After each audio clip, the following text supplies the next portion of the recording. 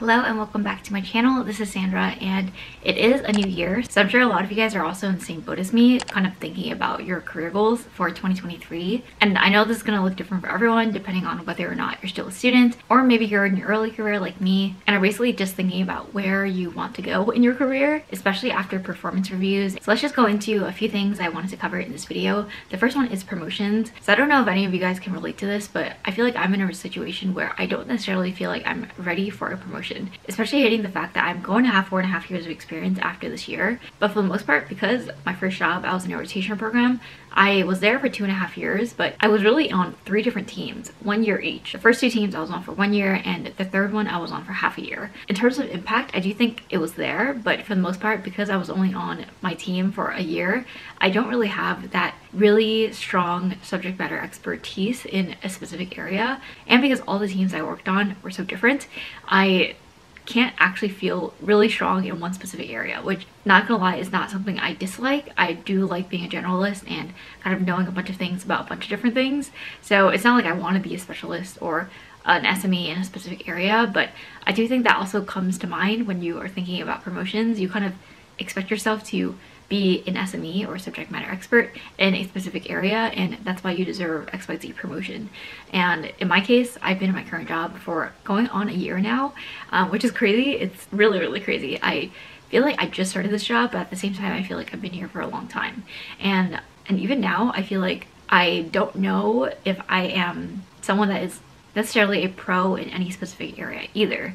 Also because our team is really small. I work for a much smaller company now compared to a Fortune 500 or Fortune 50 company. And basically there are thousands of people on the cybersecurity team. And in my current role, there's about less than 10 or so. So for the most part, I don't, I definitely have a lot more impact, I would say. So these are just things I'm thinking about, but I know when people think of career growth, they kind of first thing they think about is promotions and that necessarily isn't really you know what I really care about um, I know there's like title promotions and things like that but I don't really care about those things as much. Um, I know they come with obviously salary increases, which is probably more important for a lot of people. And I'm not saying that you shouldn't care about promotions. I'm saying that you should definitely take into consideration your scenario and your situation and your experience level and take all that into consideration and then decide what you want to go for. But, but for now, I'm basically just trying to learn as much as I can. And that's the mindset I kind of want to take moving forward with at least into this year for 2023. So that is kind of my mindset on promotions. In case any of you guys are also in the same boat, the next thing I want to discuss is certifications. So I got my Security Plus certification actually back in 2020 and this is the year, I believe it only lasts for three years or so. So I'm gonna have to renew at the end of this year, but it's crazy to me again that I took that certification exam almost two and a half years ago now, two years ago. So by the end of the year, it will be closing on that three year mark. And then I'm going to have to do some tasks to renew the certification. I don't know what they are yet, but I know there's some kind of thing that I have to do to make sure that it's still a valid certification. Um, I know I was originally studying for a few different types of certifications in 2022, but right now I I'm really considering what, you know, I kind of want to go into because I could go for a more specialized certification right now that, you know, could get me kind of like into a more specialized track. But again, I don't necessarily feel like I'm ready to or that I want to necessarily go into a specialized area in cybersecurity.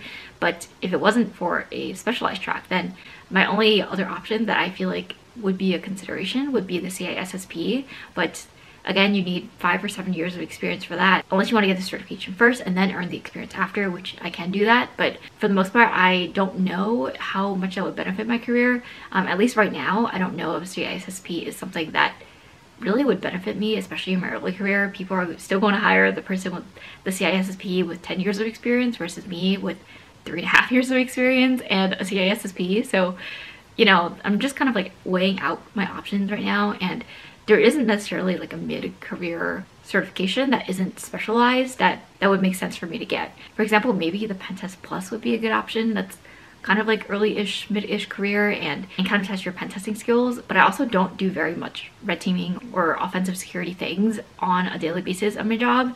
So I don't really know how much that would benefit me either. So I'm kind of in this middle ground of not really sure if I want to go for a specialized one, which obviously has implications for my career because I want to take advantage of the certification if I'm going to study for it. And the more generalized certifications in cybersecurity that I would want to get, like the CISSP, are definitely more for a more mid to senior level in terms of experience. So that is kind of where I am right now on this ground as well. I feel like this isn't really a career goals video anymore. This is kind of just me spilling out my thoughts on what I'm thinking about in my career. But maybe that's a good thing. Maybe you guys are also having these thoughts about what what could help you in your career at this point, especially if you're in a spot like me where you have like three-ish, four years of experience, maybe two years of experience, and you already took your Security Plus or your GSEC or whatever beginner level certification that you could get, and now you're kind of in that space. Well, it's like, well, what do I do now? Maybe go for a master's program, maybe go for a certification program, um, maybe just do online training. There's a lot of training courses where you can learn new skills and a lot of companies also have budgets for that yeah, basically I'm kind of in that boat right now. Maybe it is just taking an online training program or maybe it's just buying a book or a membership for I don't know, like a, a, training platform or something. So these are the things I'm just thinking about in the back of my mind. I think this year is going to be a very pivotal time in my career. A lot of things I'm still figuring out and I think that for the most part my career is very, very on the fence, I guess. I'm still figuring out my long-term vision for my career and and obviously I also have this YouTube channel that I want to keep running. So I'm just trying to find that right balance for taking my career forward, but also growing this YouTube channel and helping you guys get into cybersecurity. And, and that's personally one of my goals as well, which is to help more people get into tech and get into cybersecurity and bring more women or minority groups into tech. These are all areas I'm really passionate about that I've also that I've also done diversity and inclusion work on in my previous companies. It kind of like all jumbles up together, but now I'm just going off track. So next thing is salary. In terms of salary, I don't know what this will look like because usually I think salary increases are also tied to promotions and I don't know what that setup is going to be like in my current role or my current company specifically. Honestly, it's kind of like a black box to me so I don't really have that much to share on this. And of course, salary isn't necessarily something that you can purely controlled by yourself because obviously it depends on the market and the sector that you're in, your company and how it's doing. And right now, obviously it's not really, really good in terms of economy. So I don't necessarily expect a huge salary increase or anything like that. But I did want to kind of throw that in there for anyone who is also thinking about it because, because even though I'm not aiming for a promotion or aiming for like a 30% raise or something, I still think it's important to think about. So at least that you're keeping track of it as you're going on in your career and not just going with the flow and taking whatever's thrown at you, but also knowing that when the right time comes for you to go for those things and ask for those things from your employer and your manager, then make sure you're holding yourself responsible to that. So this is as much for you as it is for me to kind of brainstorm and talk this out. Okay, next one is a juicy one and that is job search. Am I going to switch jobs? Am I going to look for a different role? Are you guys looking for different roles? I think right now it obviously is so very volatile in terms of the job market and job search, but there are so many companies that are hiring, especially for cybersecurity, and that is not surprising because there is a huge need for cybersecurity professionals. So definitely don't sell yourself short. If you're someone who is just graduating from a bootcamp or just graduating from a degree program. There are definitely going to be jobs out there, whether you start in IT or go right into cybersecurity, or maybe you start as an SOC analyst. There's a lot of different options for you. Or maybe you're in the middle of your job search and you're studying for a certification first while you know you're kind of going through the job search. Because that's a great way to just study in general for cybersecurity interviews. Personally for me, I'm not considering going into the job search right now. I will be hitting the one year mark at my current company and that is really exciting. Typically, I've made videos on this on, you know, how frequent you should switch jobs and tech and stuff like that. But because I've only been at the role for a year, I don't plan on looking anywhere else anytime soon. But I do think it is something for you to consider if you're someone who maybe has been at a company for 34 years, maybe you're ready for the next switch, maybe you want to pivot into a different sector in cybersecurity, maybe you want to go into a different sector in general and not even be in cybersecurity anymore. And maybe you want to be a software developer or maybe you just want to leave tech.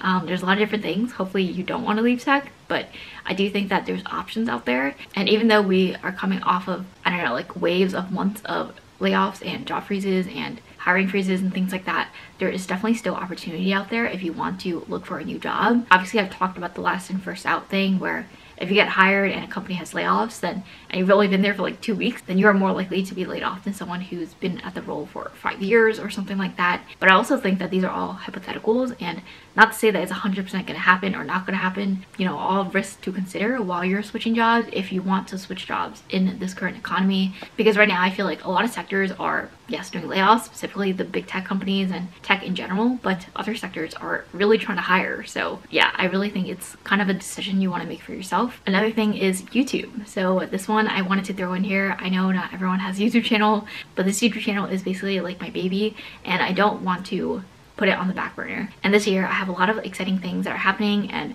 And last year was the biggest year I've ever had on my channel. I think I started the year with less than 10,000 followers. No, 10,000 subscribers.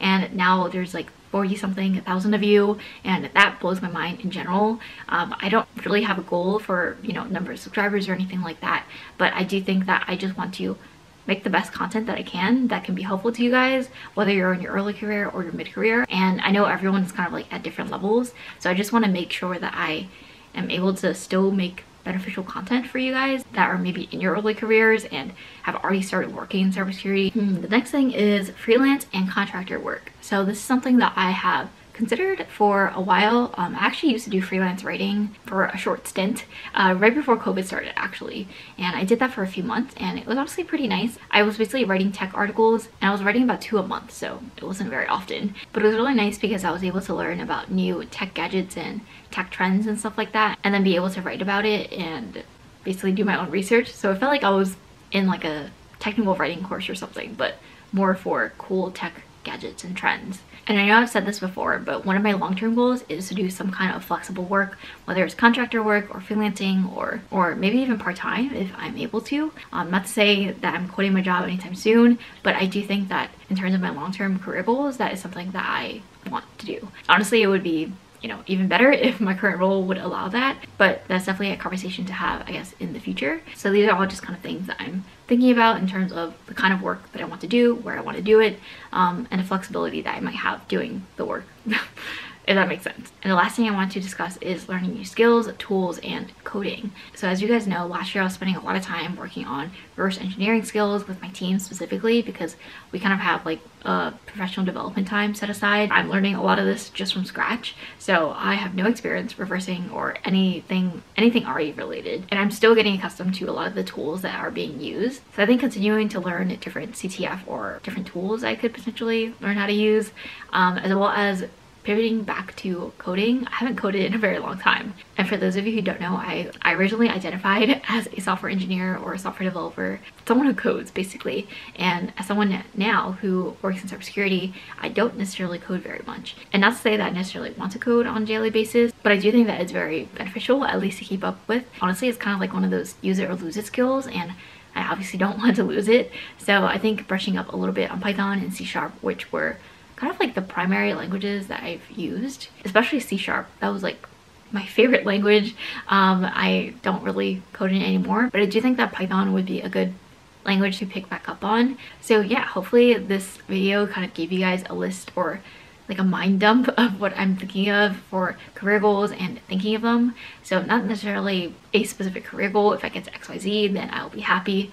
But it's more so like, how am I thinking about my career and where do I want to take it? What are the things I'm considering, whether it's certifications or promotions or salary or remote work maybe or flexible work. So all these things are kind of things to think about, I guess, when you're kind of navigating the maze that is your career, but it's exciting also because you're kind of the one charting out your experience and where you want to go. So make sure you remember that you're in the driver's seat and especially working in tech, there's so many opportunities out there and definitely don't sell yourself short. Always negotiate for your salary. If you don't like your current job, there are many, many jobs out there that you may potentially like better. Just basic things to keep in mind.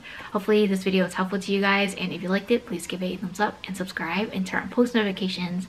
I post videos every Wednesdays and Sundays at 12 p.m. Definitely let me know in the comments also if you guys have any experiences that you'd like to share about your career goals or, or maybe share a few if you're comfortable doing so. And hopefully I'll see you guys in my next video. Bye.